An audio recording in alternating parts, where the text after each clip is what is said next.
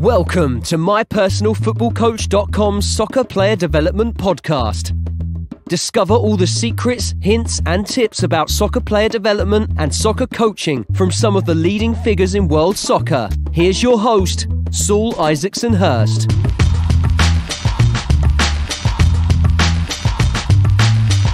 What's happening, guys? Welcome back to another show. And this week we've got another top guest for you. Is Colin Bergmans. Colin is a skills coach at PSV Academy. PSV, obviously, one of the big clubs in Holland. And uh, lucky enough to go out there a few weeks ago and film another Inside the Academy shoot. Uh, really, really um, extraordinary few days there. Really, really looking forward to sharing that with you guys. It'll be live on the Inside the Academy channel, YouTube channel, probably in January uh, Blackburn one coming up this month very soon. But yeah, Colin's top top practitioner, top coach. Really interesting to learn about his skills box idea.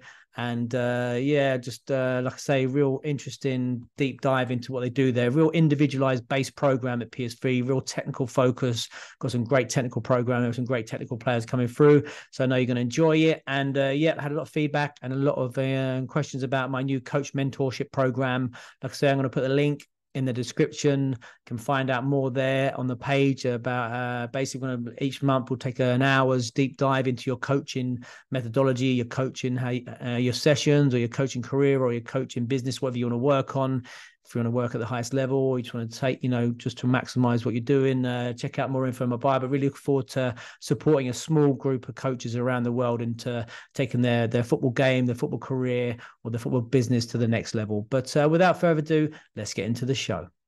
So, Colin Bergmans, welcome to the show. Thank you, thank you. Good to see you again. Very good to see you again, my friend. Uh, can you give us a brief outline of your playing and coaching journey up to this point?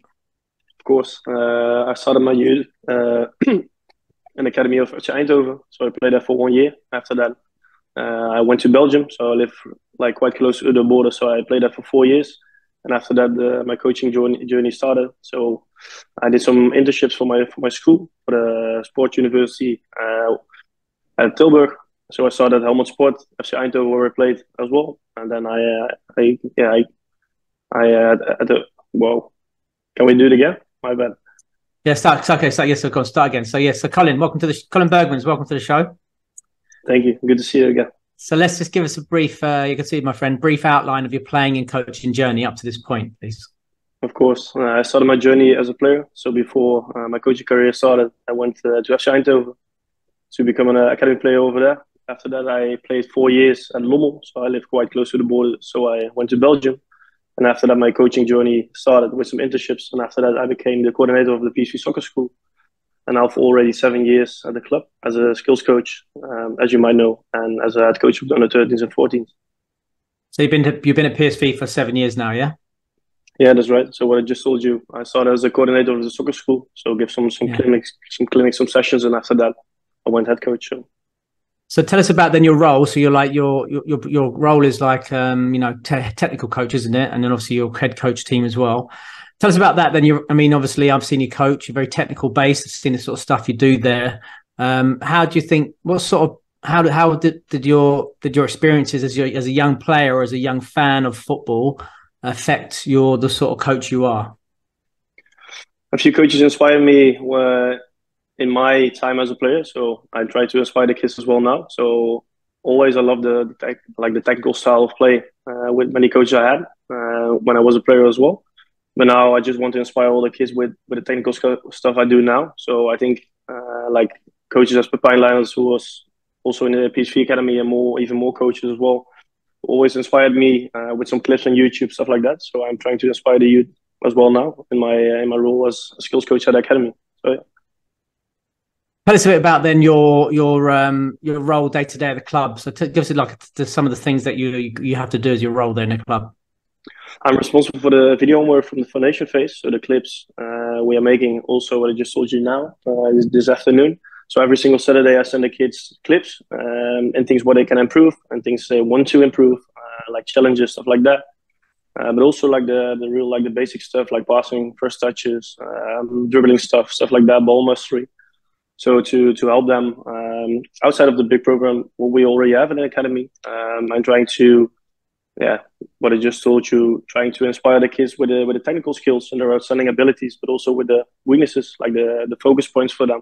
So I just want to help them with the technical part of the game and trying to let them know what you need to have uh, later on when you play, hopefully in the first team of the of the of PSV. Yeah. Yeah, so we'll come back to that because obviously you've got the skills box there, which is really impressive. We'll kind of come back to. Let's just talk about your early career. Then you said you what was your first role at the club at PSV? I started as a coordinator of the of the PSV soccer school. So that was so, just, so when you so when you say soccer school, what is that? PSV. What is a soccer school? That's uh, that's uh, for everyone who just wants to uh, okay. train like a PSV player. So yeah. kids can uh, can sign in for some clinics for some sessions at PSV to learn yeah. to, uh, let them learn how to how to train as a PSV player. And after that, um, of course, I wanted to be an academy like the real academy with the real P- PSV players. So and there like my my career as a as an academy coach started. So uh, from that point, um, I was always busy with the, like the technical part with the foundation phase with the 10s, 11, 12s, and now later on also with the 17s, 18s. So that's so that's so, so, so when so when did you start in the academy? Um, you mean what year or? Yeah, how long did you spend in the soccer school until you then transferred into working within the academy? only for two years, like the soccer school in combination with the foundation phase already. So was I was uh, coordinating the soccer school, but also assistant of the under 10s, and then I became the under 10s head coach. Further on, the 11s, 12s, 13s, and now 14s. Okay, so then talk about your first role as the under 10s. What was the first things, the first things you um you noticed becoming an academy coach with the under 10s at PSV? Well, good question. Like the kids saw so pure. Like they they want to know everything about what, what they want to improve, what they what they can learn with the ball. So if you like what I just told you, if you want to inspire kids, I think you have to be inspiration for the kids as well. So what can they do with the ball? When what situations do they need to turn? What situations do they need to drop? Stuff like that. So let them expire, let them explore what it is to be an academy player as well. But for me as a coach, it was just wow, like a top top uh, academy of PSV with so many top and good players. But if you can still help them with their opportunity to hopefully uh, go to the first team. So that was for me like my first coaching uh, ideas, and that was just amazing. That's about then. What was the, the first? What were the sessions like then? What sort of what was a typical under ten session look like at the time? Um, just skills. So one v ones, two v ones, three v two, stuff like that. So under an overload games, even numbers. So one v ones, uh, just trying to let them explore what you can do in every single situation based on many parts on the pitch. So definitely uh, outplaying, definitely uh, one v ones, defending, attacking. So just let them explore what you can do in every single situation. Just just trying to fill the backpack with so many technical stuff. And after, at the end of the day, hopefully they can just pick like a book from the library. So what can they use in the games, and and that's what fits with me as a player. So is it the same now then with the foundation phase at PSV? Is it similar? And is it pretty it's pretty pretty still the same methodology throughout?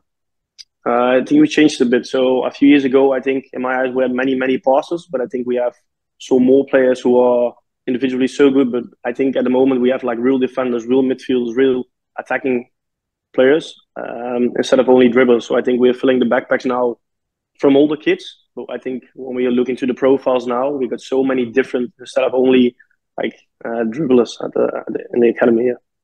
So that's interesting. So you say maybe previously the academy was were producing much more sort of one v one out outplaying dribbling players. Now you have more of a balance, all different sorts of players. So how did you address that? How did you come? You, you saying that was the UN? That's a recruitment thing. Was it part of the coaching methodology where you started changing or combination?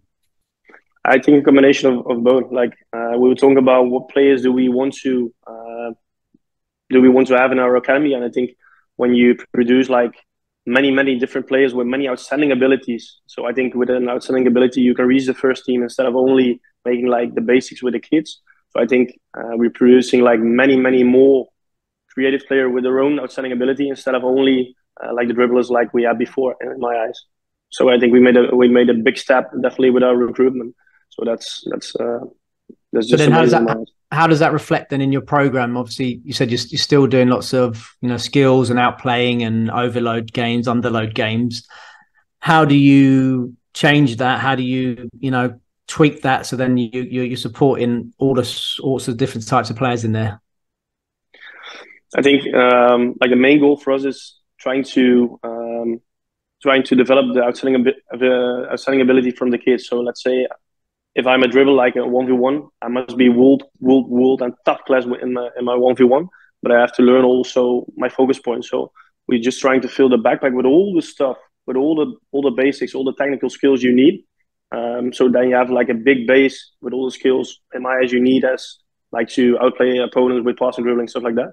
But definitely like, like the outstanding ability. So what's outstanding for me as a player must be top in a few years uh, and later on as well. So I think it's a combination of still looking at my outstanding abilities, a combination with just making them overall like technically better. And what I mean, for example, then you talked about you know sort of defenders and stuff like that. Does that affect your planning that, or is uh, all the under 10s basically doing the same drill? So you know, I've seen some of your practices where you know transition games, overloads, underloads, that sort of thing. Are, are all players doing the same drill? Are you thinking, right, okay, maybe he's best suited to doing that specific thing, or is it? I'm just wondering, you know, as as young players, are they just much more of a general, like you know, uh, you know, rounded process, or you much specific, or does that happen a bit later on?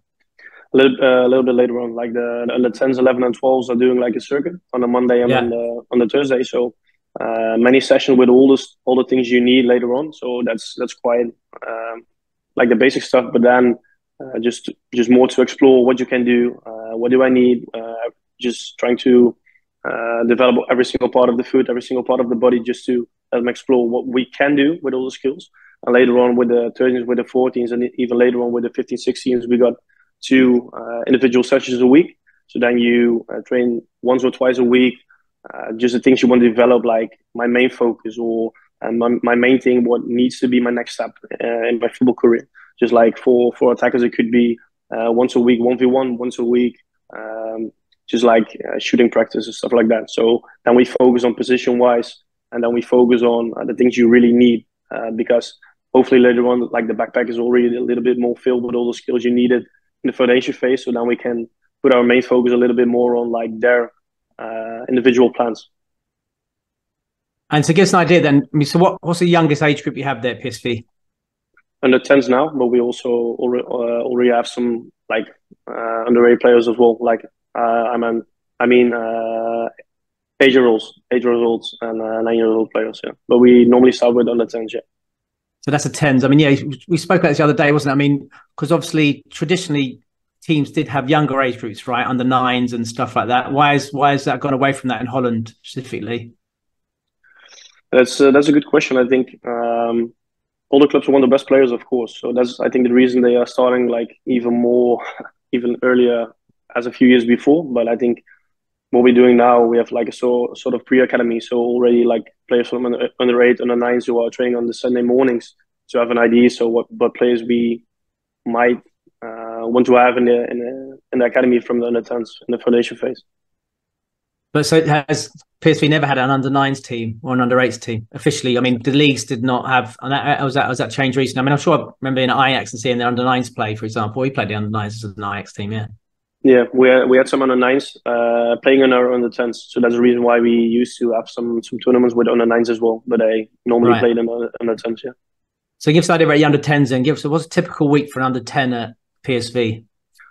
Uh, they're training four times in a week, so Monday, Tuesday, Wednesday, Thursday, and normally should be uh, two and a half hours. But we have like uh, many sessions where we can do just everything in the two and a half hours. So it could be uh, futsal, could be many one v ones, could be outdoor, could be uh, street football, so stuff like that. So we can just fill the two and a half hours every single day with everything we want. So it could be for the um, for the mentor, like to talk with the kids, could be with the individual coaches to have some individual stuff, could be with with a full group, like as a as a as a group session. So in the two and a half hours, so we can do just whatever we think what's the best for the kid during a week, during uh, what we think what fits in the program program of the periodization. So just two and a half just two and a half hours with everything we want to do. Well, because uh, I mean, two and a half hours is quite a long session, isn't it? I mean, compared to what we traditionally do in England, to get ten hours a week, that's quite that's a lot of contact time. And how does that work? They're all coming in after school, are they? Are this all in the evenings, or is it a bit hybrid, or how does that work? Um, we work with centers, so we're trying to uh, let it to let the kids train as close as they can at home. So we have uh, in foundation phase we use uh, four centers, so the kids can hopefully only drive uh, only have to drive like 30 minutes max to go to the center. Yeah. So that's the reason why we train uh, four times, and we can train train four times in a week. Every single Wednesday, all the kids are together at the at the Herdgang at our facility, so they see each other once uh, a week.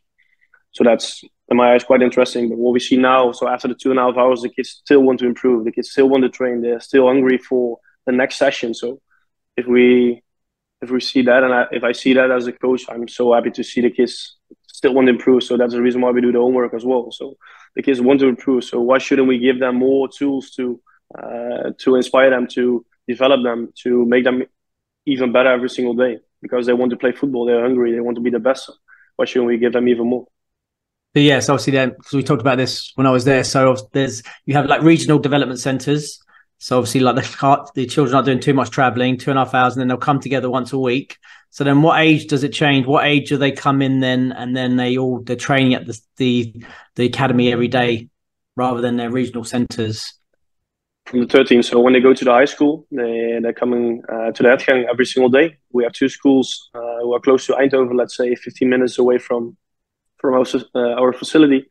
So uh, when they are in the 13s, they are like in the real academy, if you can say that. Yeah. And they train every day at 13s. No, they also four times a week, but then we train okay. uh, two two times in the morning, so the Tuesdays and the Thursday for the individual yeah. session. So then we have many many coaches from the foundation phase uh, as well because they don't train at the evening then. Uh, they only have to train in the evening then, so they can help us uh, with many coaches in the morning. And on Mondays and Fridays we train in the afternoon. Um, so then we train two o'clock. Interesting. So give us an idea then of like a typical session. I mean, you talked about two and a half hour session, and that may be lots of variation. You, you know, lots of different things, but you know, give us a typical session, what the boys might go through in two and a half hours. So normally we start with a video homework. So uh, what I just told you, every single Saturday we send them we send them clips, and that's the thing where we start off. Let's say when we have a, typical Monday, we start with a video homework. Let's say for 15 or 20 minutes. After that, we trying to build up uh, the session from under and overload games to even numbers. So let's say after the video we play many 2v1s, 3v2, stuff like that, in combination with maybe a position game because we have quite much players. We got many, many players. So sometimes we divide a group with the passers or the dribblers, or we trying to have um, both exercises. So let's say a position game and um, a 2v1, 3v2 or under and overload games. After that, we're trying to have many, many even numbers. So let's say 1v1, 2v2s, 3v2, 3v3s. Sometimes we do a little bit individual after that, or we play in games. And it's always based on the periodization. So it could be with small numbers as well could be uh, with even numbers or with an overload as well in, uh, in matches, but definitely with uh, the spaces we want to let them improve. So it could be a three v three three v three on a on a on a pitch where everyone thinks is way too big, but for us it's really important to let the kids explore what you can do in uh, big distances or like just small side games and stuff like that. So let them explore what you can do in maybe crazy crazy distances. But I think it's good for the kids to explore what you can do or what you might do. And Tessa, you mean you, mentioned there you got you dribble, you got some dribblers and some passers. I mean, so how do you um, you know support those, and how do you identify? You know, that's quite interesting because a lot of typically in England, you know, some academies like like dribblers, some like passers, you know, that sort of thing. How do you make sure you're you're you're suiting everybody's needs and everybody's strengths? And definitely with the Thursdays and the Tuesdays, so then it's already an individual session. So when the when you uh, yeah, when you want to have like happy kids and when the kids, uh, if you want to give the kids the feeling that we are helping them with the plan, so that's the reason why we have the Tuesdays and the Thursdays. But that's only definitely on the Monday and on the Fridays. We want them, we want to, we want them to be in a situation that they can be themselves. So let's say when we have a passer and we play a two v two, uh, two v. I'm sorry, let's if we play like a two v one, he's always maybe the the one who wants to pass, but definitely we want him to dribble as well. So that's the reason why we're trying to bring him in 1v1, 2v2s as well. So then he needs to dribble, then he needs to uh, explore how it is to dribble instead of passing. So we're trying to bring the all the kids in the situations they might not like or in situations that they really like. So that's the reason why we do that. So I think it's quite interesting to let kids explore what they love, but also where's the struggle. Challenge them, Sam, right? Yeah. Tell us about tell us about a Tuesday and Thursday session and the individual session. How is that different to the Monday and the, th- the Friday one?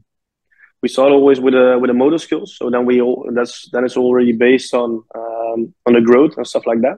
So then it's then we're already making sessions with uh, with strength with um, with a strength program with a extra homework program for uh, motor skills as well.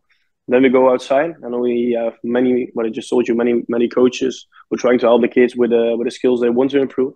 So then it's just 45 minutes with um, attacking, with one v ones, with uh, receiving high balls, with passing first touches, just everything what the kids want to improve. So let's say we have eight or nine groups with small groups uh, of let's say three, four, five, six players, and then they can improve the things they want. And then, I mean, that's interesting, isn't it? So, I mean, that's because you, you, how does that change as you move up the academy? I mean, talks like the tens and the thirteens and the sixteens. I mean, how much changes there from individual development to sort of team development?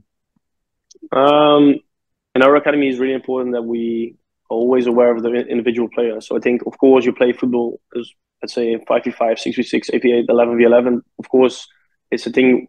It's a thing like it's just what you where you're working together to make um, to win or to develop or how, how do you want to say but i think it's always important that we are looking for the individual player because an individual is going to reach hopefully the first team one day so i think it always stays the same in our academy every single time the individual player is the, the most important one in the group and we have a plan for everyone but of course you play 11 v 11 with a group. So i think still individual from the 16s 17s 18s but a little bit more team wise of course because we don't have uh, many individual sessions as well then and it's only once a week or so, something like that. So from the foundation phases many individual sessions but definitely like the the basics.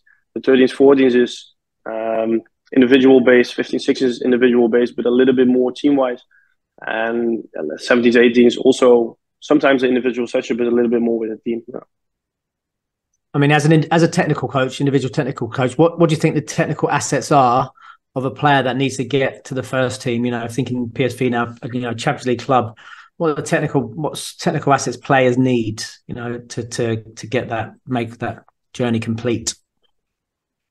Um, be the best in your outstanding ability. So let's say when I'm a I'm a I'm a passer, I have to be the best one. When I'm a dribbler, I have to be the best one. Let let's say uh, we have so many good players in our first team now. So when we when I look to the outstanding abilities of their of the players of the first team now, they are in my eyes outstanding. So that's the reason why we play Champions League as well, of course. But I think as an academy player, you have to be the best in your outstanding ability because when you're so maybe like a basic player, like let's say we fill the backpack, everything is just like a six or a seven, but not like a ten.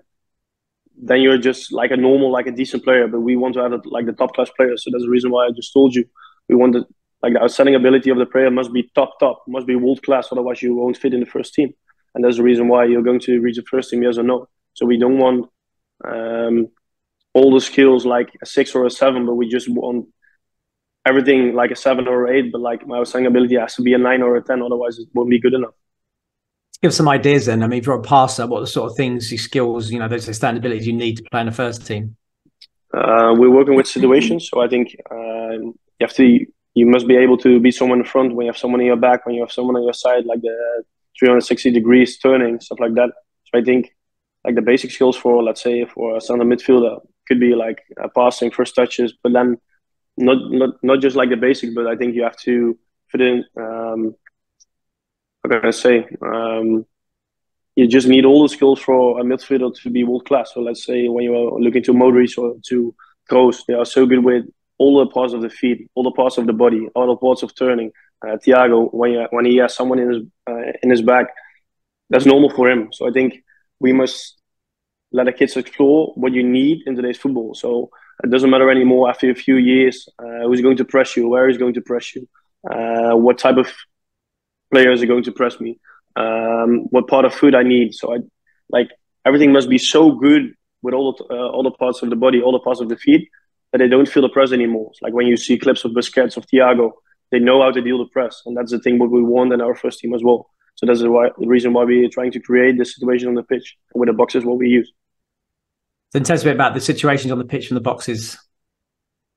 Uh, what, what you see now in today's football in our in academy, like everything is based on a box from 25 to 25 meters. So let's say everything is so uh, everything is so compact because teams are even if they're high pressing, low pressing, mid block pressing, like everything is so compact. So you need skills to to deal with the press, of course, but everything is so co- compact now. So you need to be the best in small side games. You need to be the best in small side, um, small side game uh, games and and situations. So that's the reason why we're trying to uh, help them with exploring what can you do when I have someone in my back, when I'm have someone in front, when I have someone on my side. So what I just told you, it, hopefully after a few years, it doesn't matter anymore where someone presses me because I know what to do.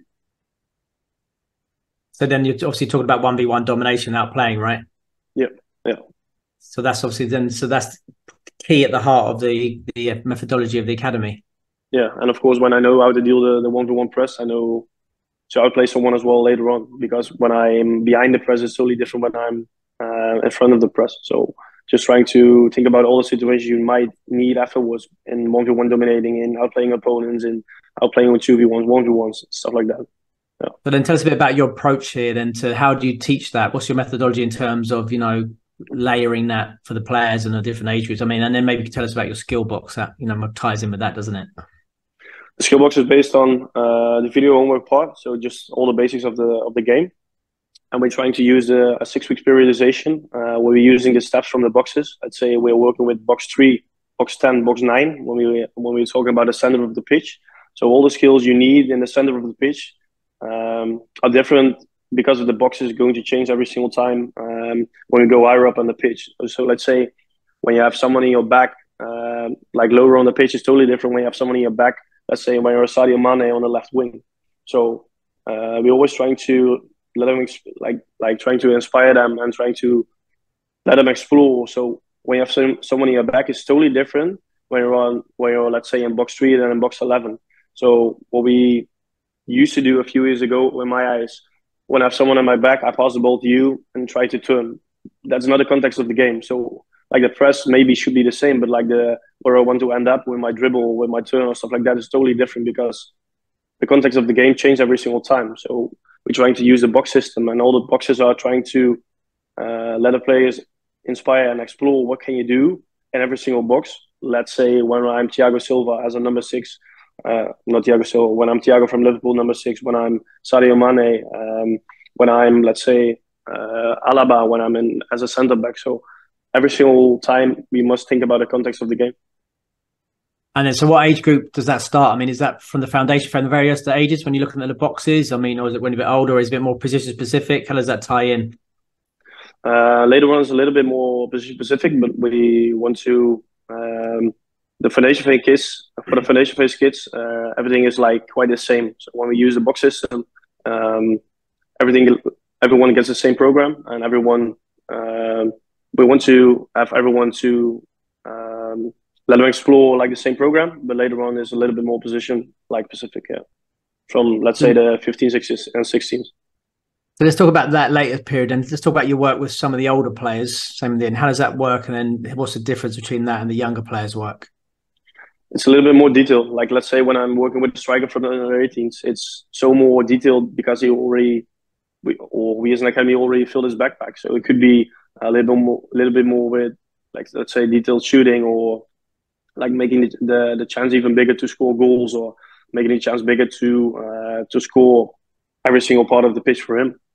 So that's a little bit more specific on position and a little bit more specific on what he wants to improve. Like for making the next step or making the last step to let's say another 21 or to the first team so instead of like the basic stuff it's a little bit more detailed about what he wants to improve and what could be the next step for him and turning shooting one v one stuff like that I mean, and what how's your role differ? I mean, how do you sort of identify which players you're going to support with the older ones all the way through? I mean, how does that work in terms of your role?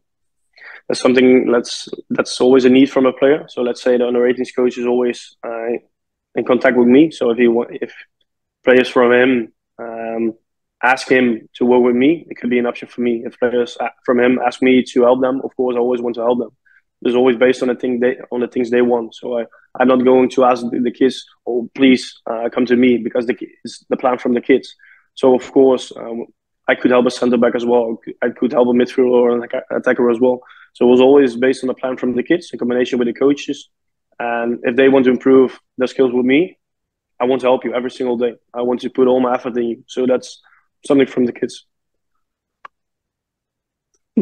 So, so the, so the players will ask, say, look, I need support in this area, and then they'll come and ask you. What about the coaches? The coach say, or do you? I mean, if you're watching a game, say, look, for example, that you know number three has difficulty, you know, under pressure or something? When is that? When's the intervention come? Um, good question. Normally after after matches, like uh, we struggle with this, or he wants to improve that, or stuff like that, and always. Uh, I try to stay in contact with all the coaches as well. So let's let's say if I see a center back struggling with the, with the first touch or with the passing skills, I can go to a coach, and of course say I want to help him, or or I see he can improve in that. And there's always contact with me, with the coach, and with the player as well. So it's like a triangle, and it's something we talk about like every single day because what I just told you, all the individuals are the main focus in the academy, and we want to individuals in, in our first team. So that's the reason why we're trying to let them unique on, on their own way, but of course, like the best version of themselves. And tell us about like the, the playing philosophy, for example, the academy. What do you have like a set formation? How, how are you getting the boys to set up? Um, no, because we're always looking looking to the spaces what, what they need, and we're always looking to the spaces uh, where they can improve. So we, we don't we don't uh, talk about formations. We talk about um, spaces where they can use in games. So no... sorry, wait a minute. That's some water, no problem.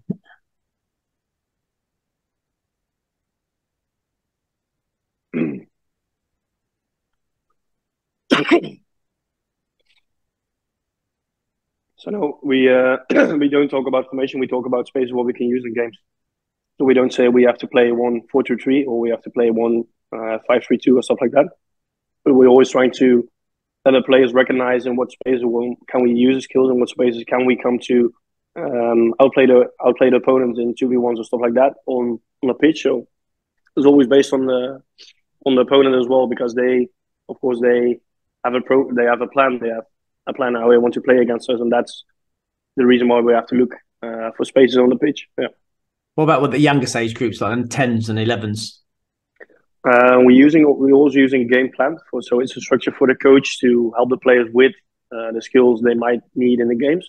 So we have a like a structure plan for the coaches, but the kids don't know about it. So we want to let them bring in the situations that we as coaches know um, to help the kids later on in games. So it's not like we're going to play uh, two two one or two one two or stuff like that.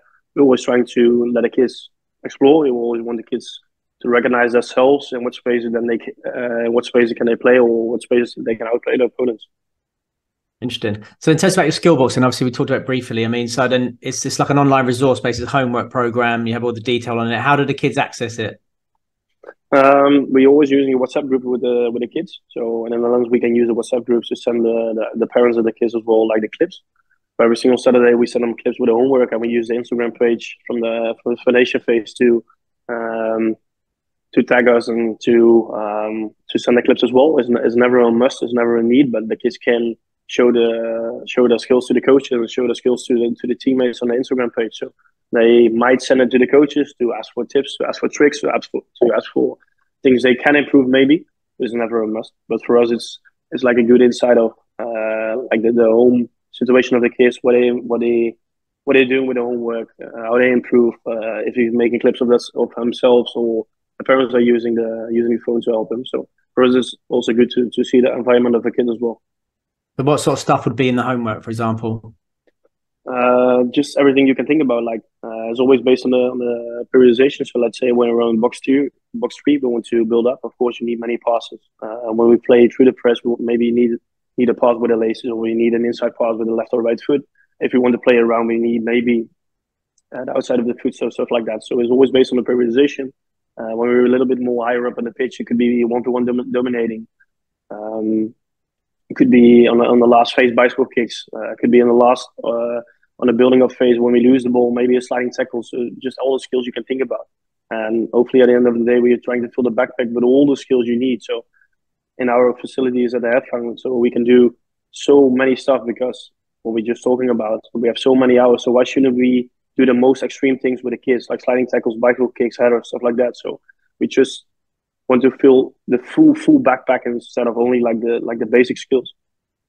So, for example, you saw how long would you you spend your periodization? How long do you spend on box three? Is it one box at a time, or two boxes, or how long are you spending on each box? Uh, normally one week. So let's say when, when, when we want to play on the center of the pitch, we spend one week on on that topic. Of so course, got, we always. So you got your number three, you know, your, your left back, if you like. So it's your left back zone. One week of that, for example, receiving and trying to play forward and maybe break lines, you know, that sort of thing. So all the skills, all the football actions, maybe you could call them, needed for a number three, they'd be within the homework, right? Yeah, right. Yeah, right. And of course, like even if you're uh, even if you're attacker, definitely when you're like let's say on a 9, 10, 11, it's good to explore like all the skills, even as a as a centre back. And if you maybe later on you're never going to play as a centre back, but you need the skills later on, maybe as a striker as well to pass through the press or stuff like that. Yeah, interesting. Why. And so you mentioned overhead kicks. How they practice them? Just that you just get them at home, just doing overhead kicks on the sofa, on the sofa and the garden. Or how's like, the health like, and safety uh, policy?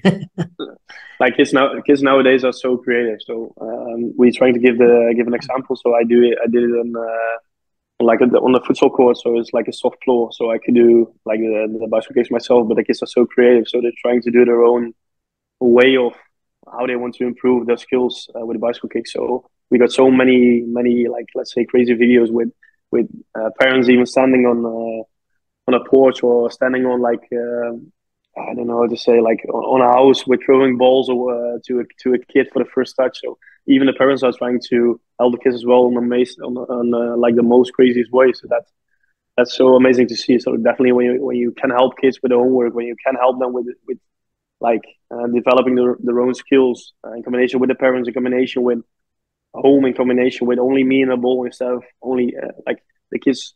The kids love to improve, but of course the kids are trying to play with their friends as well. But if they have some time for themselves, they want to improve as well. So why shouldn't we give them the homework? Why shouldn't we give them like the most crazy examples to to to teach, to develop, to uh, to be hungry for the next session, to be more skillful, uh, like on the next day. So for me, that's that's something I, I really love. And how do you how do you differentiate yourself? How do you what's different about you and the other academies? Obviously, you you know Ajax is not too far. You got Alkmaar now, another big academy doing really well. Feyenoord you're pulling Holland's relatively small country. How do you convince players to parents to look come to PSV instead of the other teams? What's the difference between you guys?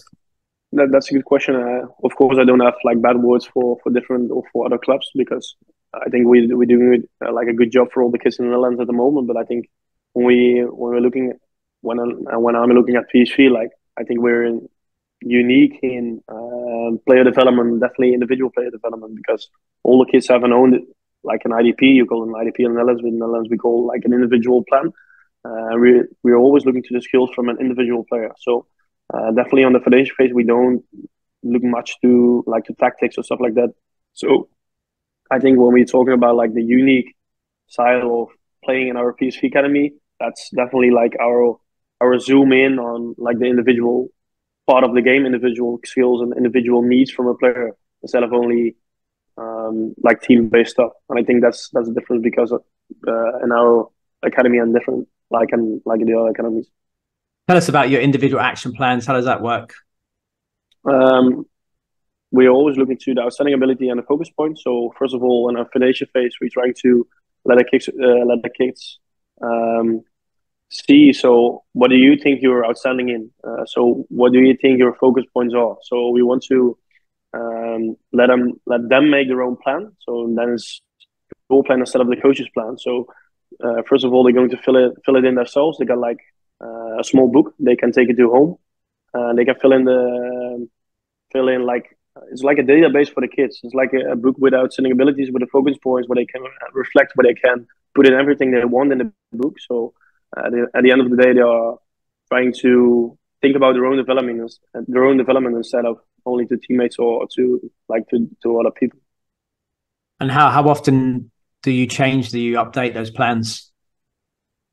Um, good question. Like we are so many hours with the kids, so you're talking about the plans like every single day. Like it's not always, oh, we're going to sit. Let's let's talk about the plan. But sometimes you're on the pitch and he's he shows you something what's in the plan. So that's when you talk about relationships with a kid. So if I know the plan from a kid, I can help him like even more instead of only like the, doing the, the team stuff.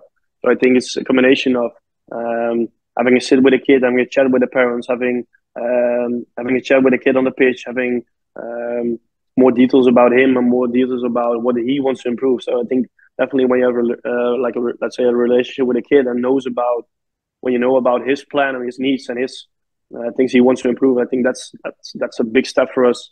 Uh, what we made like the last year as coaches. Interesting. And what about yourself? How do you keep on top of the game and make sure that you're developing yourself as a technical coach? Um, with your visit, no, no, no. What what what what we always using uh, with with the players and what what we just already talked about and talked about a few weeks ago. We're trying to use benchmark for the kids as well, but also for myself. So we're using benchmark for the kids. So uh, like idols for them, like let's say Messi, Ronaldo, uh, what they can use with clips, with stuff like that to to improve. And the same as for us as coaches. Uh, two years ago, uh, me, like myself and Joop, our coordinator, uh, visited Pepijn Lijnders at Liverpool. It's like uh, he could be a mentor for me. So like, we're using like the mentorship for the for the kids, but also for the players. So people who can inspire you, uh, people who can uh, motivate you, people who can um, be the next step for you. So I think that's something I use um, as well. So of course we had we had some good talks at, at that as well. So we're trying to use mentorships for the coaches as well to to inspire to explore what could be the next step for you, and that's something like what really drives me and what really fits into my plan as well. So trying to talk as many as I can with people who inspire me. And what about what would your your own future ambitions in the game be like? Would you like to work at first team level and or something like that? You know, with with adult players. Like I really love the thing what I'm doing now. So I'm capable, like I'm able to work with with all academy players. So like uh, there's so much difference between coaching a foundation phase and under 18 players. But I'm in the moment now and in the possibility, uh, like I have the possibility now to work with all the academy players. So that's something I really love at the moment now. Uh, I worked for many, years in the like only in the foundation phase, but now I'm, I'm also working with the 15, 16, 17, 18. So of course I would I would love to work in the first team as well, but I think my steps are now first team.